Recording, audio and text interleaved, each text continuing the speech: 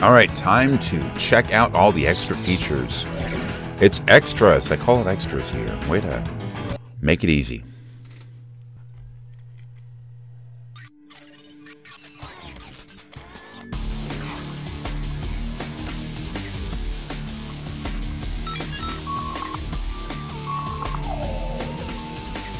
Okay.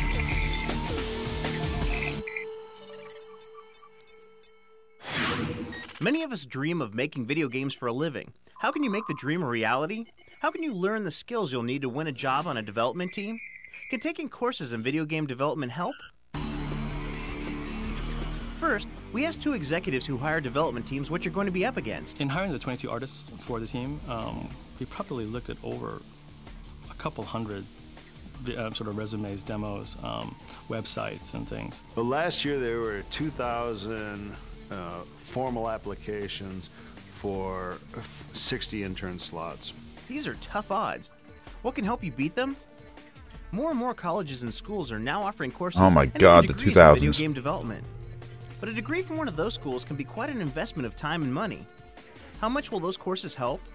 For some students at some schools, it's just the edge they need. Students now are going through school. Not only are they playing games in their spare time, but they're building game-like assets in art school. They're building game programs as thesis project in computer science. And they're showing up on our doorstep ready to make dramatic immediate impact and ready to be leaders within about three years of one of these $10 million projects. $10 million projects. At the Art Institute of California at San Francisco, the game program includes courses like game design, game prototyping, scripting, Oh. math. So it's just an advertisement for a school. At Cogswell Polytechnical, also near San Francisco, some Or of a the unique few, I don't know. exercises push your creativity to another level. For example, to focus on 3D character development, these students made sculptures of themselves as animals. Looks just like him. I was shocked to learn that in order to draw, um, you go through what is mostly an anatomy class. You have to learn the bone structure of a human and the muscle structure, and then you learn kind of the rendering of the details, like the hair and everything. So it takes a lot of work. Students discover what a nightmare it is to make a game. How much time and energy and commitment, how much soul searching evenings when you have to face getting your character into work inside the game engine or going home to get two hours sleep before your classes start again the next morning. The Game Art Design program originated from uh, talking to the industry and get, uh, getting feedback from them that they were looking for students that had an understanding of the game process and strong teamwork. And then uh, show her full, then she burps, then she covers him out. It's crucial to get experience working in a team environment. To work by yourself at home is an entirely I wonder how many of these people ended up actually learn in working in the industry. along with everybody. Like this was and made more than 20 years ago. milestones and all your Or oh, I wait, deadlines. this is issue. Se- I don't know, about 20 years ago. Let's say 20 years ago. People get together and they focus on what they're doing, and the energy, the synergy just starts to take over. So these people would still be working in the industry if they got into it. days in and a didn't, row, and like, get everyone's just burnt out or anything. Each other, like, come on, just a few more hours. You can do it. You can finish it. What we've found works best is to go to places that have strong computer graphics programs and strong uh, CS programs and work with the professors. And they can start identifying students who have an aptitude but also motivation. And then we can kind of set up a pipeline. I had people from Electronic Arts come down and give a presentation on how to do demo reels. That John Romero a second ago? into the presentation of what the game club I was looking done. away. They were just agog. They sat down literally and said, "How the hell did you do this guy? This is fantastic!" And they went one by one to all the students. So they finally got up to Ashley and they said, "Ashley, you've done a great job with these people. We want you to apply for an internship over at Electronic Arts." And he said. Uh, well, I don't think my artwork's that good. They said, the hell with artwork. We want you to be a producer. That was probably the most important thing they were looking for is someone that was able to um, drive a project from beginning to completion. You know, motivating, getting together with a group of people and driving a project. To find talent for his art team, Julian Lau helped teach a course at San Francisco's Nice Academy hair, of Art, buddy. where two students distinguished themselves from the rest of the class and now work for him. One, one of our animators that we hired from a game school was um, Jacob Patrick. And one of the great things about looking at his animations and things that he learned and what he did at school was his attention to detail, the movement of the characters, the weight behind it, whether it was uh, moving a heavy object, you know, picking up something, running. From the Sony animation class, I, as well as the other students, learned the importance of using reference. What they were looking for is to be able to find realistic human movement. Many of us The mirror there isn't a vanity thing. The mirror is because he is like looking at himself while moving his arms or whatever and trying to use that as a base for his He came through a animations. by just submitting his demo reel. And he was very persistent. And we took a look at his reel and everything and really liked what we saw. Brought him in. whoever is going to hire you needs to see how you modeled. It's not just the final object, it's how you created it that it's important, and the steps and the time you took, uh, the details. Even if you take development courses, the chances of actually getting a job on a real team are slim. We asked how to improve your odds. Identify your talent. So whoever you are, whatever you want to do, research the industry, understand exactly what it is you want to do. Do you want to be a modeler? Do you want to be a coder? Find out exactly what you want to do, where your talent lies, and then focus on that. What correlates well with success is the ability to learn. People who can process negative and positive learning, and people who can communicate and listen. It's a to long video. turn out to be Holy shit. valuable. Will you be one of the next generation of game developers? Apparently How will not. You make your mark on video games. In 2010, the platforms we create for are going to be 100 to 150 times as powerful as the PlayStation 2. That is just about unimaginable. Kids coming out of school today all have the flexibility to imagine it. They've got they've grown up interacting. By 2010, you're still going to be working with a PlayStation 3. because of it, and they're going to be the people who can figure out what to do with 100x the hardware power. Are you up for this challenge? Almost 200 colleges and schools have courses on developing video games. Check the internet for more information. Next issue, we'll look at another way people get their foot in the door of the video game industry through the test department. Oh yeah, that's a gateway in. Quality assurance.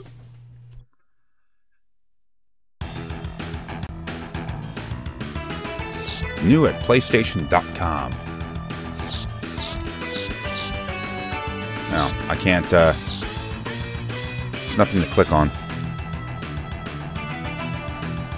Oh, it's just a um, discussion forum. Because those things are fun.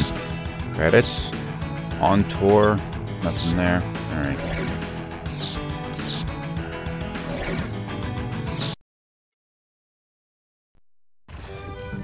Quickly, girl, before it collapses around you. When we last saw Lara Croft in the hit Tomb Raider series, it seemed like the end had come for the popular heroine. She had a, a very, very near scrape with death in uh, at the end of the last revelation. The temple collapsed around her, and her body's been missing, presumed dead. So We wanted to, to leave uh, the viewing public on a sort of cliffhanger. Uh, did she die? Didn't she die? And us saying that she was lost, presumed dead, was, was a way for us to sort of get Lara to refocus on her own life, you know, look back into herself about her, her priorities, what's important. So, um, so needless to say, she is, uh, she is alive and well, and uh, she's going to be come out guns a-blazing.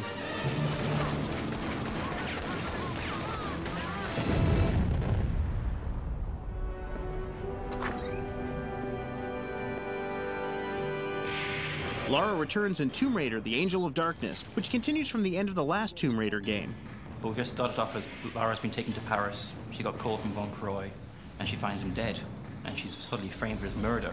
And she's on the run from the French police, and it's a whole new scenario instead of the usual Tomb Raidering thing. And very soon, everything that's been there for Lara, being famous, you know, people recognising her, being this face around the world, it all works against her because suddenly everybody wants to catch her. She's trying to go through and investigate who actually did kill Von Croy. That sort of leads her into a much deeper storyline. It's not just a crazed psychopath, it's a 15th century alchemist who's doing these ritual killings to rule the world and she's got to clear her name by destroying him.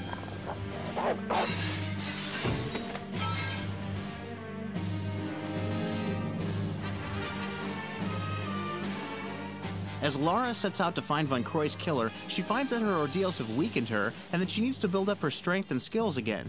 She was really weak and um, at the tomb in Egypt. So it's, it's the story of her sort of returning as a, as a character, giving her the, the abilities that she once had uh, and then lost.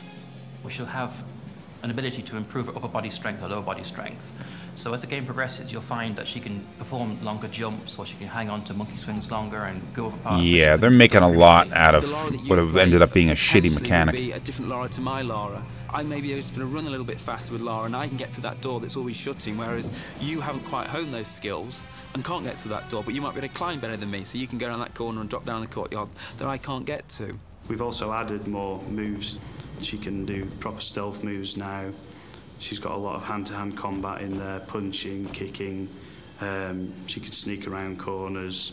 She can take enemies out and then sort of hide again.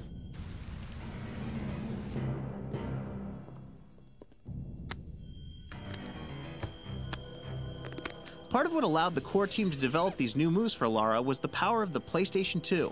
They further tapped this potential to develop a host of other improvements that will push Lara's adventures to the next level. Everything's just goes up to a new level that nobody will have seen before because we're allowed to do so much more with the PS2. Lara's 8,000 polygons.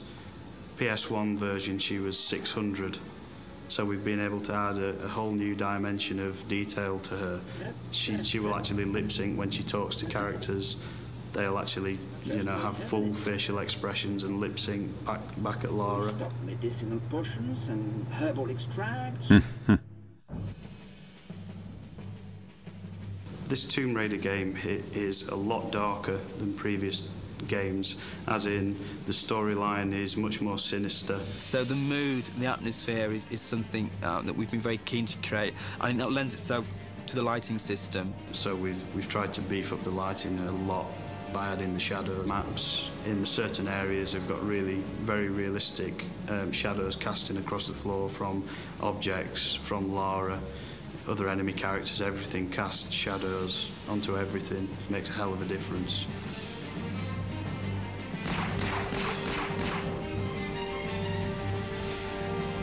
As Lara struggles to determine what's happened to Von Croy, she runs into a new character in the Tomb Raider series, a character who's an integral part of the game.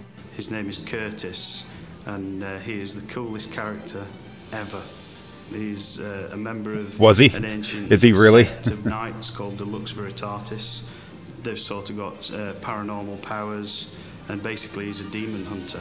We wanted Curtis to be quite a different character to Lara. Um, it's going to be quite an interesting sort of love-hate relationship that they have initially because Curtis is there in this game and, and he's always one step ahead of Lara. He's he's almost like the thorn on her side. He seems to be on his own mission, has his own agenda, but he's always just there one one stage ahead of her.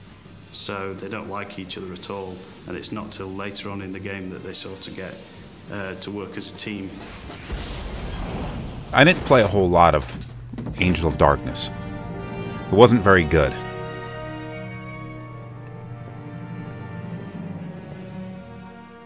One of the hallmarks of the Tomb Raider series has always been the creative use of puzzles in the game, and Angel of Darkness is no exception. And as we have looked at what people have enjoyed playing in Tomb Raider, it has actually been that sort of hard-edged puzzles. It's been that standing there, knowing where you've got to go, but trying to work out how to solve that puzzle. Also, we've got those sudden death sort of things where if you just don't get it right, she begins to fall. You know, you've got that timing just to grab that ledge or grab that precipice just before she plummets to her death.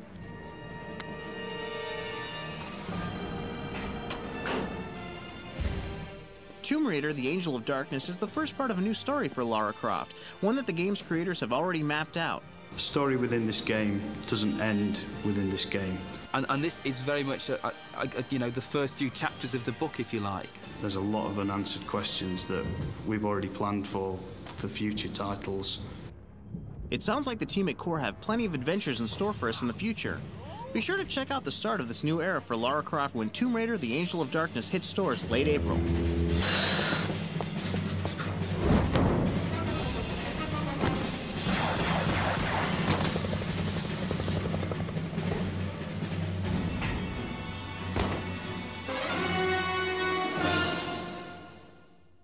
So, uh, that game sucked. It was supposed to be the start of like a new storyline for Lara Croft, but it ended up bombing so hard that it all of that was abandoned.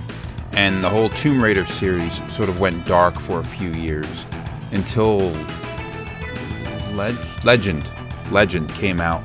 And that was like an early 360 late PS2 game kind of thing which more or less just rebooted the entire series. So there's actually been three different Lara Crofts. There was the original, which like the original game up through Angel of Darkness, and this was the last time we saw the original version of Lara Croft. Then there was the Legend Lara Croft, which was the three three games that uh, oh god, what are the names? There was the, the remake of the original game, but with the remake version of Lara, the rebooted version of Lara in it. And there's a third one. Something. And then they rebooted Tomb Raider again about 10 years ago with that uh, that Square Enix version of Lara Croft. Which I'm guessing, since it's been a few years since the last time we've seen one of those, I'm guessing that that um, that that series has concluded as well. Because it seemed like something that they'd want to churn out one every three years or so, and it's been a few. So I think we're not. I think that one's over with. Crystal Dynamics was sold from by Square Enix to Embracer, I think. So it's possible that they just started their own. Like all of the old, all of the old Crystal games, Tomb Raider, Legacy of Kain, whatever, Gex maybe they're probably working on their own versions of them. Anyway, this was the last original Tomb Raider game, and I think it was probably um, core design. The developer struggled to get a handle on the PS2 hardware, which was probably the issue. A lot of developers had problems with the PS2 back when that thing in the early days. Oh, good, a motocross game. Oh, not even motocross, this is freaking BMX. I had talked at length in the past about how um, the PS1 and the and the PS2 were definitely a golden age for these games, uh, like sort of limited market games. Because game of development has always been in a track of track of getting more and more expensive. Because the more powerful the hardware, the more detail you can put in the game, the more effort you have to put in to create that detail. So even though games were easier to develop for like um, the NES and the SNES and stuff like that, the cost of distribution was just too high because the manufacturing of the cartridges was expensive. But distributing these things on discs made distribution a lot cheaper. Something like less than 10% the price. So you could make these games like if you if you made a game with the idea that it would at best sell 100,000 copies, you could do it in that area because the cost wasn't so high to make it not worth it, and distribution was so low that you could financially justify it. So you got BMX games. You got this little skateboarding game that no one's ever going to play called Tony Hawk. There was a lot of stuff like that happening. Basically a head-to-head type of a race, man-made course, big jumps, big berms. When you got into the PS3 360 era, I think this kind of thing largely died off because the cost of developing things got so much more expensive. And then it sort of reignited later once digital distribution came uh, became more common because essentially the cost of manufacturing the discs disappeared completely because it's all just done over the internet. And of course, like Xbox Live Arcade and um, PlayStation Network, Steam, and all those, they're going to take their cut of the profits as well. But the cost of distribution is uh, otherwise physical media production, shipping at the stores, all that kind of stuff just is gone. So you're seeing you're seeing stuff, particularly in the indie space, of this kind of thing now. But there really isn't any. It isn't like the same anymore because you don't have these um, legit studios going and producing these. Let's call it a high quality game that's on the sort of the bleeding edge of technology anymore because the market's just not big enough for it. Modern game budgets have ballooned to crazy levels.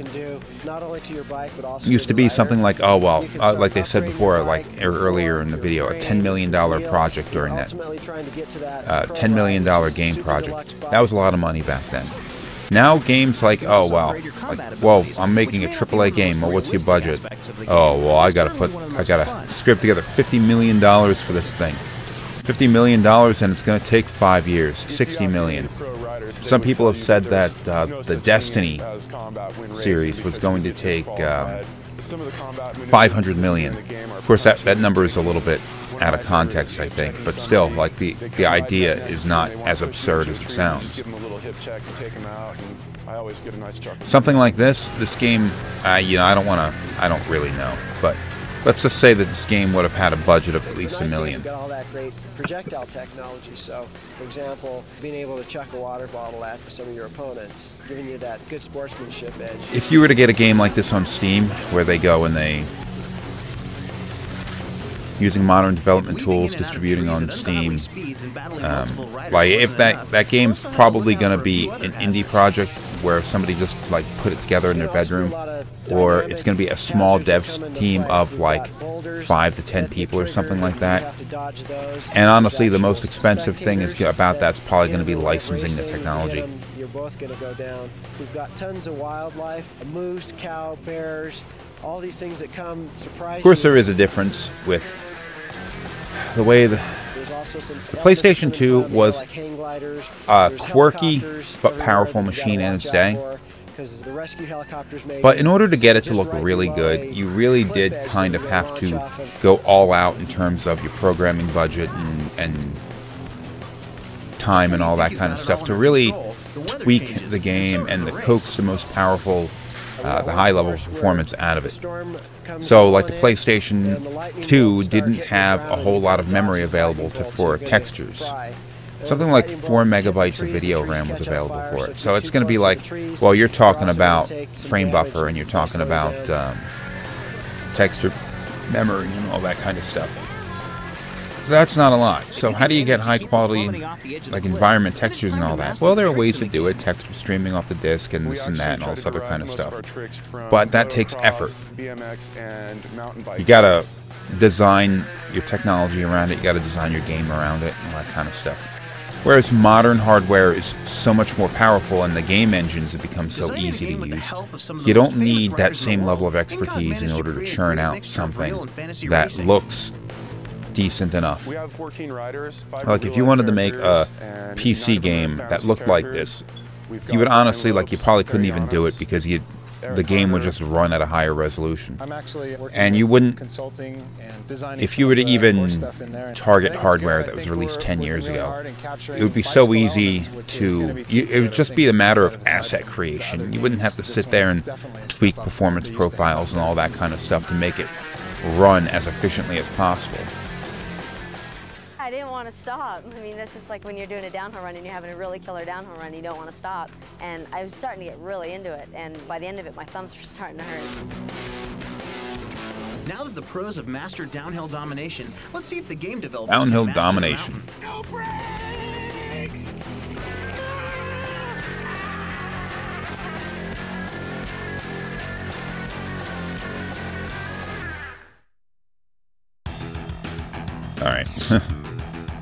Wakeboarding Unleashed, featuring Shaun Murray, another example.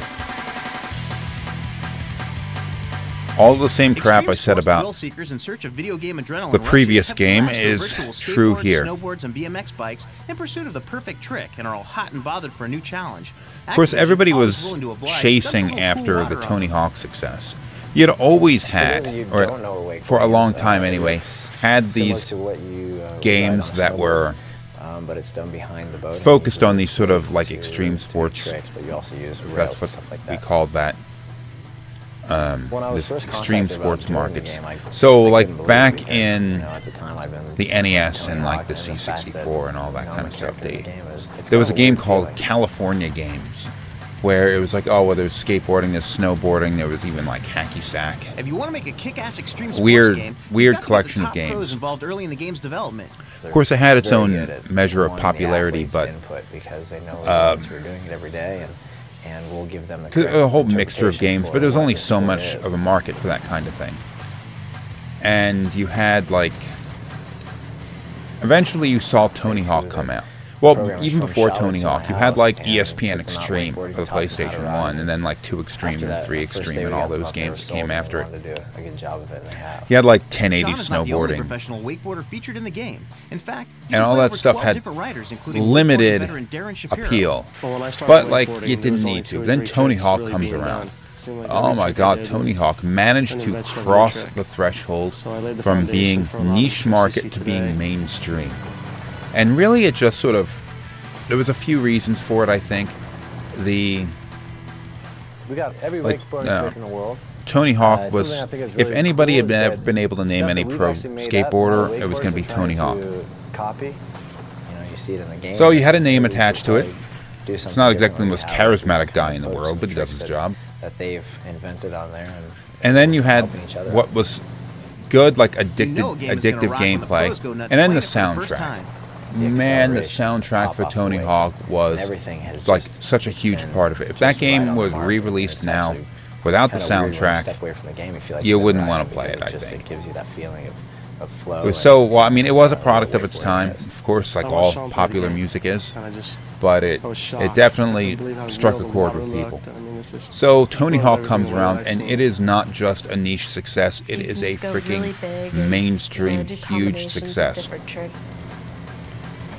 And then everybody's like, oh, well, we're going to get um, this snowboarding game with insert snowboarding guy name. We're going to get this um, surfing game with insert surfing guy name. Me, like, We're gonna get this downhill really skiing with downhill skiing guy name. And go off on the side. As I mean, they're definitely the looking for Tony Hawk levels of success, sport, but I don't think anybody achieved it. In the, game. the pro tour, we only have you know about 10 to 15 girls. Look at the water effects that they have. They have the wake coming off the back of the boat. That is definitely something so of a to the um, other boarding sports, skateboarding and snowboarding. Something of a PlayStation 2 way, it'll just open people's eyes up to hallmark in some ways. Really you know how you always have these, you look at graphics of a game and you can sometimes tell just by the way certain effects look or the way they work what console it was released for those kinds of water effects, that's definitely a PlayStation 2 looking thing. It's the kind of thing that, like, yeah, there's better looking, like the the Xbox, uh, the original Xbox, would do uh, water effects like that, but would do them differently. They wouldn't like tend to model geometry in the same way. Whatever. Is this Hi. Dude's giving us Rick. tips and tricks. Today I'll be showing you a cool move for Sly Cooper. It's a shortcut Sly to Cooper. The time trial to open up the bonus commentary. The QA people. Okay, this shortcut is for the Dread Swamp Path. Something I've said over and over again was that if you were into platformers at the time, like Sly Cooper, Jak and Daxter, uh, Ratchet Clank, that kind of that kind of game. The place that you should have been on is the PlayStation 2. You had Nintendo, which had really sort of mastered the platformer in the previous generation with Mario 64, Banjo and Kazooie, that kind of thing. But during the, this generation, it was the PS2 that really came out on top. I feel like. If you bounce I think out of the three, uh, the title PlayStation titles I mentioned, Sly Cooper is probably the most forgettable of them. Even then, though, it was still a great game. I didn't. Uh, I honestly didn't spend a lot of time with it. but I'm still capable of recognizing what it was. It's funny how that had happened. I think it just came down to like technological issues. The PlayStation 1 with its like its controller without an analog stick initially just wasn't that well designed for platformers. And that'll open up the bonus And the technology of the machine, like it did struggle at times to create like 3D environments. So you saw, like, okay, Tomb Raider, Tomb Raider 3D environment, but the platforming was it was a very slow plotting kind of platforming.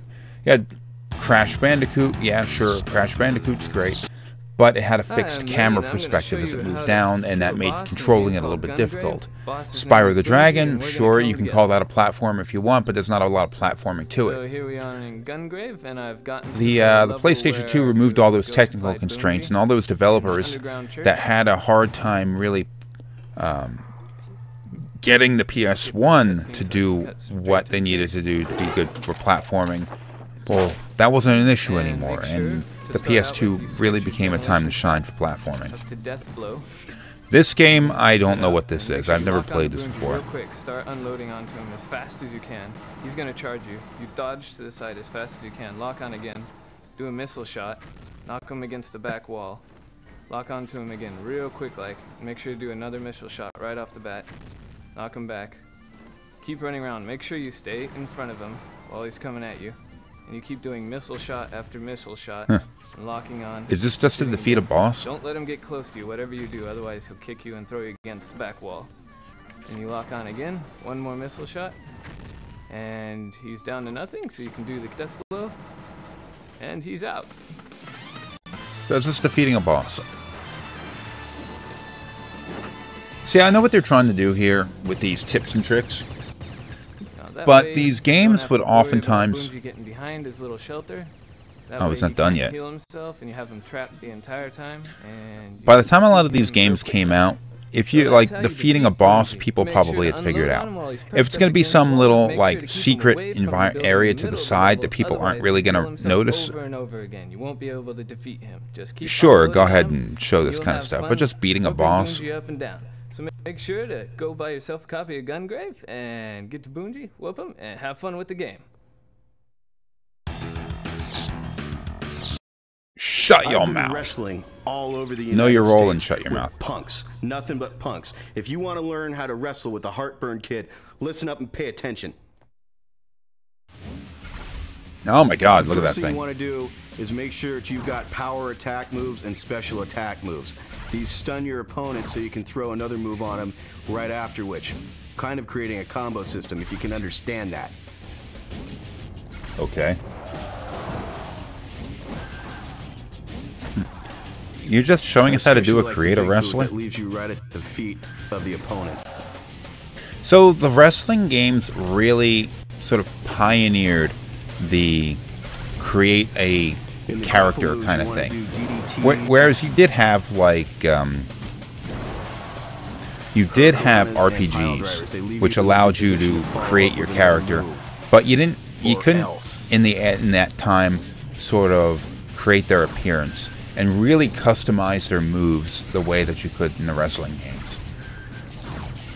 And it's the SmackDown games that people like largely think about when it comes to create a wrestler moves, but it was actually WWF. Uh, what, do is turn God, around and get. Um, Warzone, I think it was called. Electric chair drop is really A, a, um, a wrestling game for the PS1 and the N64, stand up, which around, and grab had the first version of. Create a Wrestler in it.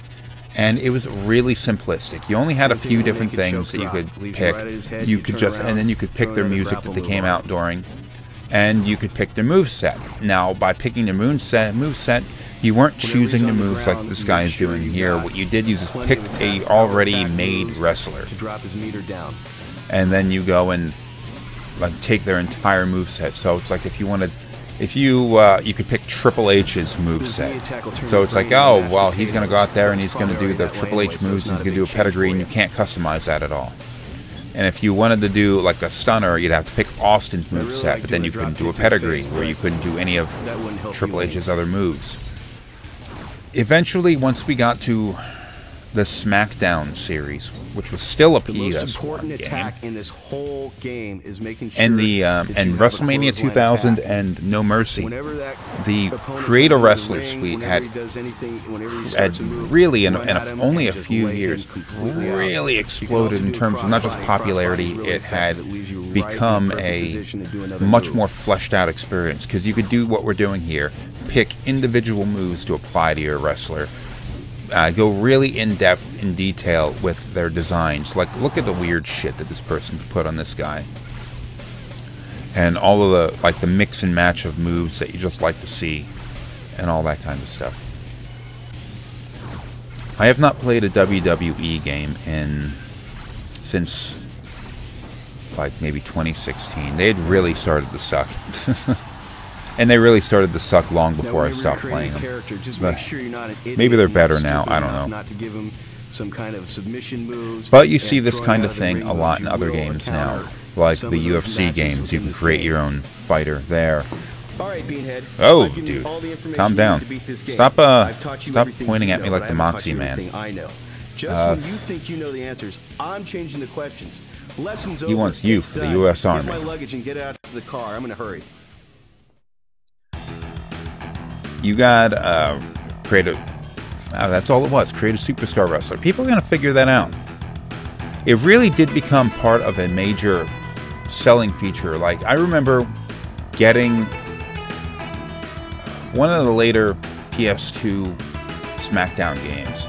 And I remember when I got it home, as soon as I popped it in, the first thing I did before I played any matches, anything, was to jump in the Create a Wrestler. Because it was, it became like the most important part of it. Star Wars. Hi, I'm Lee Clone Froman. Wars. I'm from Format QA, and I'll be showing you how to achieve the bonus objectives in the first few missions of Star Everyone Wars. loves their Clone Wars. Tiger Woods PGA 2003. Or is this the same guy? I've received the coordinates for the first anti-orbital cannon. We must move Are we driving? Okay, one of the first skills you want to learn to master in this game is the R1 zoom or sniper shot. That will help you dispatch enemies. I'd say if there was ever the a amount of time it games, a to finish a lot of movie series, A lot of these are or work of fiction that was well suited for video games, it was Star Wars. The first cannon, you Just though, go ahead and I mean, maybe maybe there wasn't really anything intrinsically better about the the fiction, the world of it, or anything like that. But you saw so many good games. Now I don't really give a shit too much for go shit about like handle and destroy the cannon Super Star go ahead and Wars or like the old SNES as you can. games for your bonus objectives is get 100 kills. I didn't really give a shit about Star Wars games until you started seeing games like um, That's the R2 and L2 Rogue. Squadron.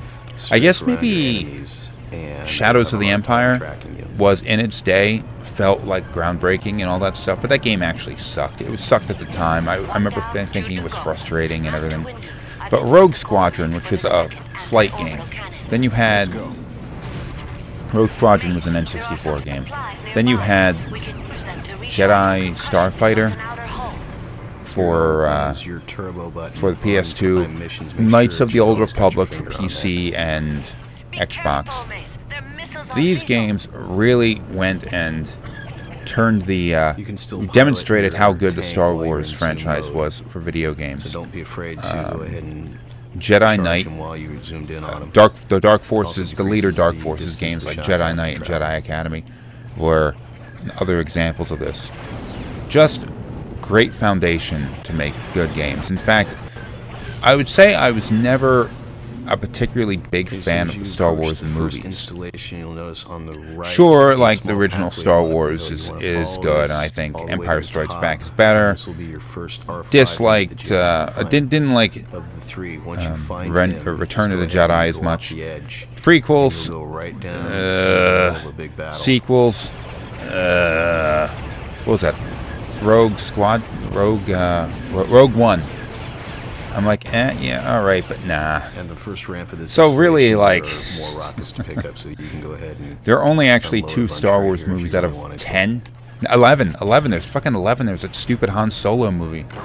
Out of 11 movies, I think there are only two of them that I can As you go actually sit down and just installation, make sure enjoy, you know? Turbo at the top of ramps. Turbo So I'm not a off the edge of particularly big fan of. Star Wars as a whole. So to to me, bridge before the in some cannon, to some level, Star Wars is more a turbo world where to make that jump quality games can exist in. Doesn't mean all Star Wars games are good, but it some of the best games I think of came from Star Wars. This I've never heard of. This is like a weird car combat game. It's like, you know, let's take uh, let's take Twisted Metal and uh, make it Star Wars, which is actually something they did. What was that stupid ass game called? Uh, it was a PS1 game. It's a PS2 game. This is something different. This is like we're on a mission or something here. But like, it's Star Wars. I don't want to be hovering around on the ground shooting lasers. Give me a spaceship, give me a lightsaber. One of those two things. I need a spaceship or I need a lightsaber. Don't fuck around with anything else. Or maybe a jetpack. I don't know. Get me in the sky or give me a lightsaber. Canyon here, you're gonna start running into the hula hoop tanks that shoot all the rockets. Hula hoop tanks. you want to edge up on the left-hand side here, and you'll run up to this rock formation. This is where you're gonna find your second R5 unit. And it's very important that you don't destroy all the enemies before you get that unit, otherwise the cutscene appears and you don't get that. See, this R5 guy's unit. showing a secret. A secret in the game that you're probably not going to just discover on your own. So yeah, make a video about this.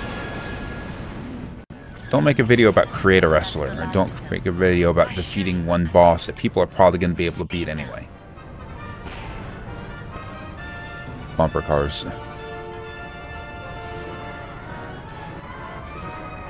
The last anti-orbital cannon is housed in that outpost. We cannot get After the cutscene, you'll be outside the tank. Oh, You'll be I have a lightsaber. You want to use your Is that the- attack button that's throwing. Oh God, what was Sam Jackson's uh, character? Lightsaber. All right. And Uh, you can angle at it. It's like a boomerang. So you can throw it in one direction. ah, and s- fuck. turn Um, the other and it'll work its way around. whatever. So you can kill more enemies that way. All, all I know is he's sick of these motherfucking droids in this motherfucking um, desert planet. You know, I tell you what, there's there's few um, there's few actors in the world nowadays that have the kind of charisma that Samuel L. Jackson has. Doesn't matter what the hell that guy is doing. That guy, he's just freaking awesome. as soon as you can. and They pretty much clear everything in the area for you. And like he he fucks around with it too. like there was some I'd seen a it was like a commercial or maybe it just like a, a Now, video or something that he had had complete sign, where he's walking button to find around and in public and people are coming up to him and saying like oh I saw this movie really need to worry and like and your movie like run they into where did something that ruined your life or something like that or CR5 unit. So now all we have to do is just hurry up and end this mission by destroying the last. cannon. something about like his uh, his influence in his movies went and and ruined their kids' lives or got them arrested or something like that. I, I forget the details, so I shouldn't have brought it up. If up. you find yourself stuck and you don't have enough kills, the ship will keep dropping Geonosians. You can go ahead and just keep pounding Geonosians. away at them until you get your 100 kills. And that's it. You got everything. Yeah, this does not look as good as um, as like Jedi Outcast. Desperation in Anakin and Obi-Wan. Jedi Outcast was a Okay, so game a for PC, and I think there might have been an help you finish Xbox version.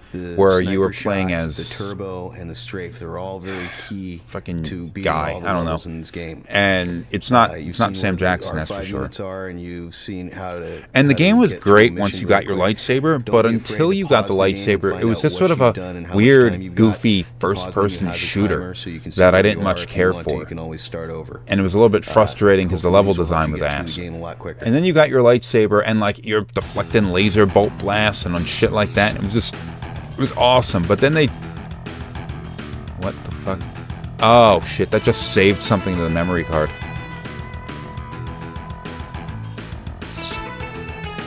Uh, these are just saves.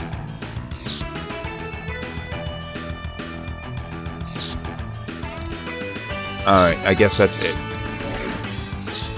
That's it? Okay. There we go. That's the end of uh, official US PlayStation Magazine demo disc for issue number 70. How long was that? 45 minutes! Fuck! It was just a video portion.